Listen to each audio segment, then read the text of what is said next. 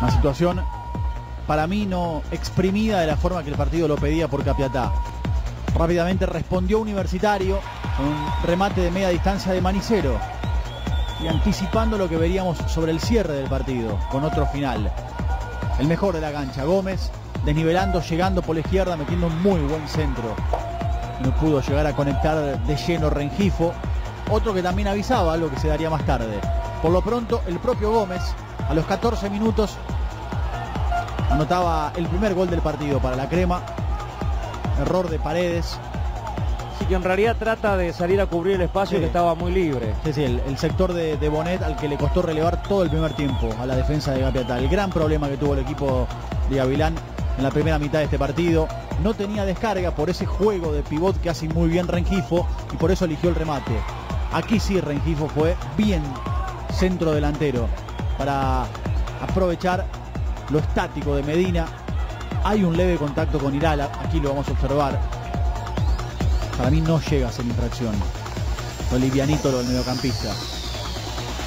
Esta fue en el cierre del primer tiempo, para mí adelantado. Novera define, fue magnífica la respuesta. Aquí vamos a ver.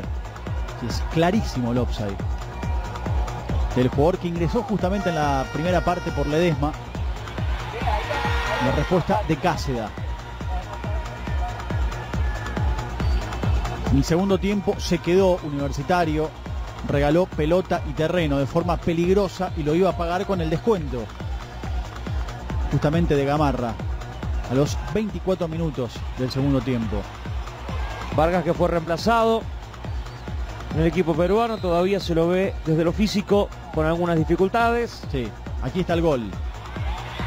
Buen centro abierto de Razábal, la baja muy bien Dionisio Pérez. Para que Gamarra ponga el 1-2. Sí, yo imagino un partido de vuelta quizás con Figuera como titular en el mediocampo. También, ¿por qué no?, con el panameño Quintero el- por la derecha. Sí, Estrada no funcionó mal igualmente.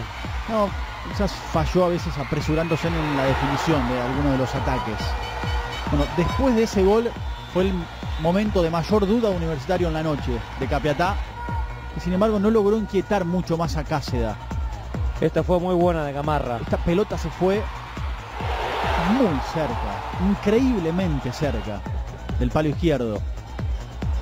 Y a 7 del final en una contra, una muy buena recuperación en campo propio, al igual que en la jugada del primer tanto, Manicero fue el que la inició, el que abrió hacia la izquierda para Tejada, que reemplazó a Rengifo en la parte final.